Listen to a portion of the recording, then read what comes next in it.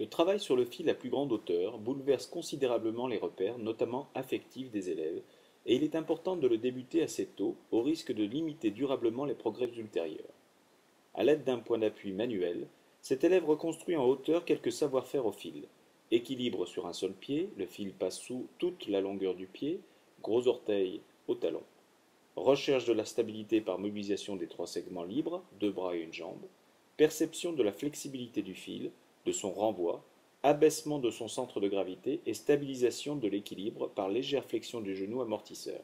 Tentative d'équilibre autonome avec un appui manuel réduit. L'orientation du regard et la tonicité de cet élève traduisent bien ici la difficulté de la tâche.